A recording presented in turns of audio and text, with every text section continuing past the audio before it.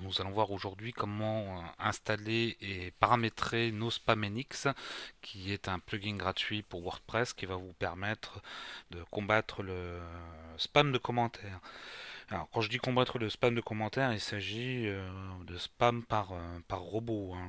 Quand c'est des humains, bah ça malheureusement, euh, il n'y a que vous qui pouvez faire le tri euh, vraiment objectivement. Donc pour ce faire, euh, bah, comme d'habitude, vous allez euh, dans votre panneau d'administration de WordPress au niveau des extensions et vous allez cliquer sur Ajouter pour aller chercher l'extension sur la, plateforme WordPress et donc là vous tapez No Spam NX vous cliquez et là donc vous trouvez le, le plugin donc on installe tout simplement, on valide. Et ensuite, euh, on va, euh, une fois que ça sera euh, téléchargé, donc activé. Donc vous vous inquiétez pas, moi c'est marqué activé sur le réseau parce que c'est un multisite, mais vous ça va être marqué activé sur le site. Donc vous cliquez, voilà.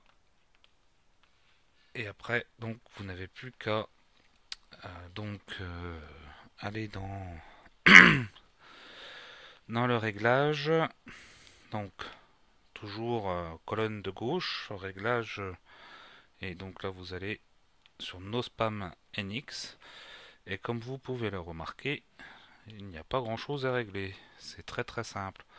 Donc en fait, vous avez euh, deux principales euh, options sur le, mode d'opération. Hein,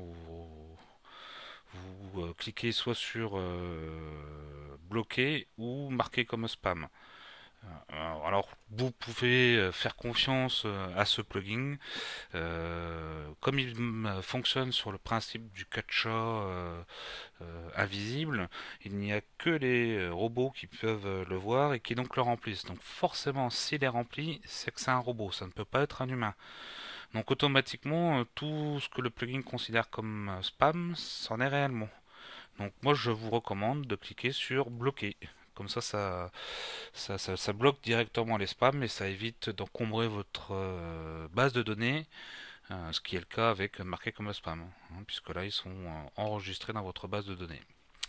Et donc ensuite, euh, bah, vous pouvez euh, vous pouvez ajouter, euh, bah, si vous avez d'autres sites, des gens qui vous ont spammé par le passé, ou même au fur et à mesure, hein, les spammeurs humains, bah, là vous pouvez les intégrer ici pour éviter qu'ils réitèrent sur votre site. Bon, moi je m'en sers très très peu, mais sachez que il vous suffit de, de, les intégrer ici, un local blacklist. Et puis bah, surtout, vous n'oubliez pas de euh, sauvegarder. Et puis ben voilà, c'est tout. Votre plugin il est, il est paramétré, il est réglé et euh, il fera son travail. Donc euh, ben voilà, il n'y a pas grand chose d'autre à faire.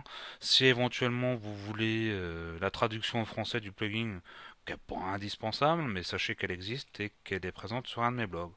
Donc je ne manquerai pas de vous mettre l'adresse de cette traduction dans, l'article où figure cette vidéo. Et eh bien je vous dis à bientôt pour un prochain tutoriel vidéo.